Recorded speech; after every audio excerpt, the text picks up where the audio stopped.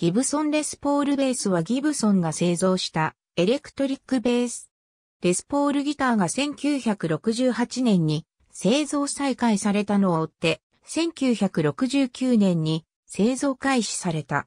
当初は EB-0 や EB-3 と同様のショートスケールであった。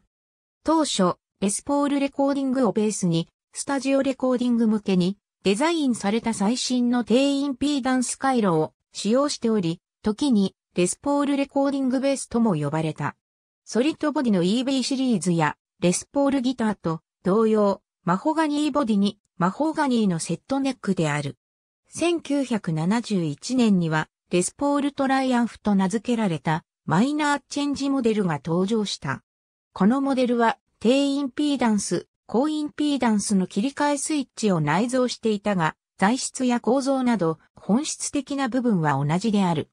1973年にはホローボディのレスポールシグネチャーベースが登場。34.5インチのロングスケールでダブルカッタウェイ。従来のモデルとはレスポールという名称以外は大きく異なる。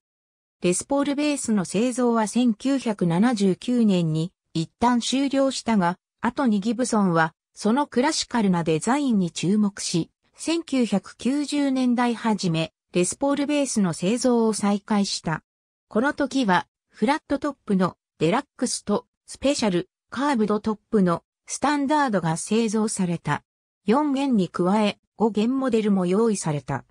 1990年代最初のスタンダードはバルトリー2社の回路とピックアップを使用。このモデルはピックアップセレクタがないので他モデルとの区別は容易である。最新のレスポールスタンダードベースは軽量化のため、フォローボディとなり、1997年に発表された。